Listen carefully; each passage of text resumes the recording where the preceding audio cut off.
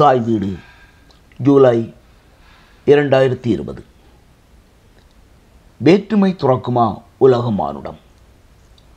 மானுடம் பற்றிய பல புதிய விதிகளை மானுடவியலாளர்களும் மானுட உரிமை செயற்பாட்டாளர்களும் காலந்தோறும் எழுதி வருகின்றனர். மானிட உரிமைகளை பேணுவதற்காக நாடளாவிய அமைப்புகளும் அனைத்துலகம் தழுவிய ஆணையங்களும் இயங்கி வருகின்றன. இவர்கள் ஆண்டுதோறும் ஒன்றாக கூடி பெருஞ்செலவில் மானிட ஒருமைப்பாடு பற்றிய புதிய சட்டங்களை இயற்றி வருகின்றார்கள்.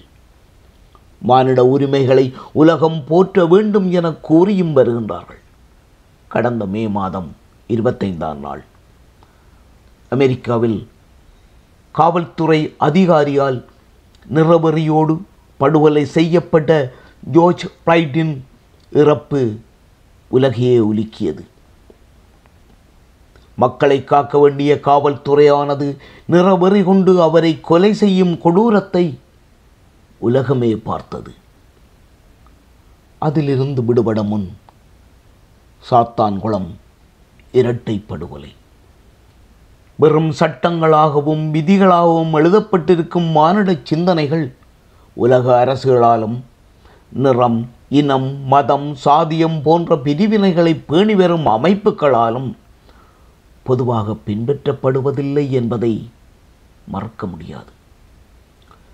பிறப்பால் ஒரே தன்மை கொண்ட மானுட இனம் நிறங்களாலும் இனங்களாலும் மதங்களாலும் பிரிவினையுற்று மோதிக்கொள்ளும் துயரங்களை இந்த நூற்றாண்டு அதிகமாகவே இதுவரை சந்தித்திருக்கின்றது.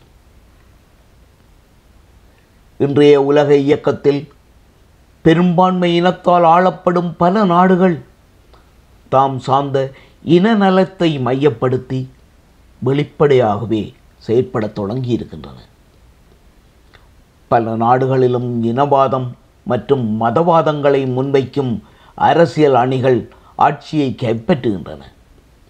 அவ்வாறான நாடுகளின் சட்டங்களும் அதிகாரங்களும் கூட குறித்த இனத்தின் நலனையே முதன்மைப்படுத்தி வருகின்றன. மானிட உரிமைகளைப் பற்றி பலரும் பெருமளவில் பேசும் இக்காலத்தில்தான் இவ்வாறான பிரிவினைவாதங்களும் பேரெழுச்சி பெறுகின்றன. இந்த உலகம் அனைத்து இன மக்களினதும் உயரிய உழைப்பால் தான் கட்டமைக்கப்பட்டிருக்கின்றது. கடும் உழைப்பாளிகளாகவும் நாட்டின் பொருளாதாரத்தில் முக்கிய தூண்களாகவும் அந்நாடுகளில் வாழும் சிறுபான்மை இனத்தவர்களும் இருக்கின்றார்கள். இலங்கையில் வாழும் அனைவரும் சமமான இறையாண்மையை பெறுவதற்கு உரித்துடையவர்கள். அதை மறுத்து பேரினவாத சக்திகள் வெளிப்படுத்திய உரிமைக்கான அத்துமீறல்களே அகிம்சை வழியிலும் ஆயுத வழியிலும் தமிழரை போராடத் தூண்டின.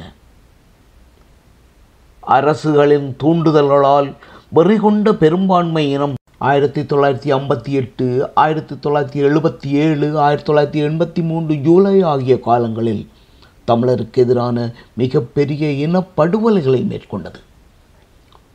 ஆயிரத்தி தொள்ளாயிரத்தி எண்பத்தி மூன்றில் மட்டும் பத்தாயிரத்துக்கும் மேற்பட்ட தமிழர்கள் பேரணவாத காடையர்களால் கொல்லப்பட்டார்கள். இலங்கை தொடர்ந்து நடத்திய இனப்படுகொலைகளின் உச்சமாக இராணுவம் சார்ந்த இனப்படுகொலைகள் இரண்டாயிரத்தி ஒன்பதில் நடந்தேறின உலகளாவிய இன ஒருமைப்பாடே இந்த உலகை அமைதி பூங்காவாக மாற்றவல்லது. வேற்றுமைகளை துறந்தால் மட்டுமே புதிய தலைமுறைகள் நல்வாழ்வு காணும்.